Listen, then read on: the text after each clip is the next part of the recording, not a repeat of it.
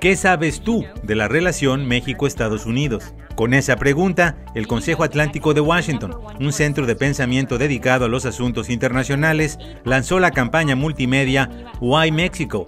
¿Por qué México? para educar al público estadounidense sobre la importancia de la relación económica con México. La relación México-Estados Unidos está bajo ataque. Las campañas presidenciales han puesto a México en el centro de una tormenta política. El país está siendo culpado erróneamente y usado como chivo expiatorio de las ansiedades de la gente.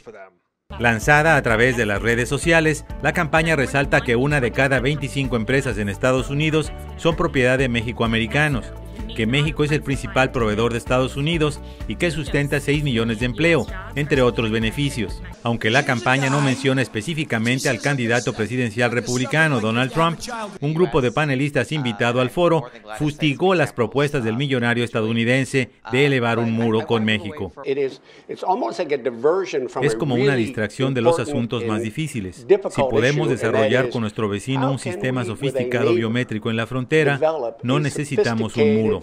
El ex embajador de Estados Unidos en México, John Negroponte, veladamente cuestionó a Trump al preguntarse qué político podía darse el lujo de marginar a toda la comunidad latina.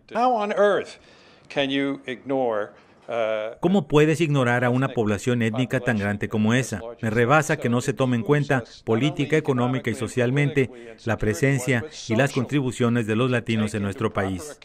La campaña Why México, que surge a cuatro meses de las elecciones presidenciales del 8 de noviembre, es liderada por el centro latinoamericano Adrian Arch del Consejo Atlántico.